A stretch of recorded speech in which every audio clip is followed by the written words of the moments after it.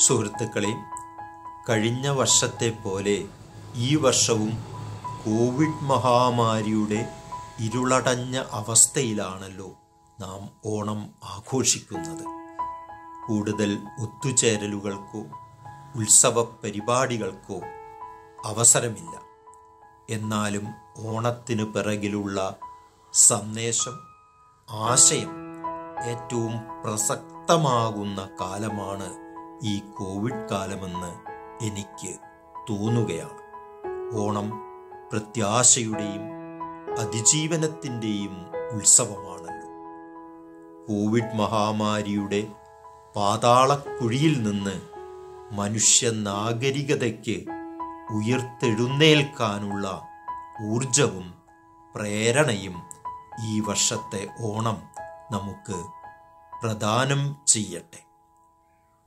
ഒലി ബുക്സിന്റെ വായനക്കാർക്കും ജീവനക്കാർക്കും management committee അംഗങ്ങൾക്കും എന്റെ ഹൃദയം നിറഞ്ഞ ഓണാശംസകൾ. നമസ്കാരം.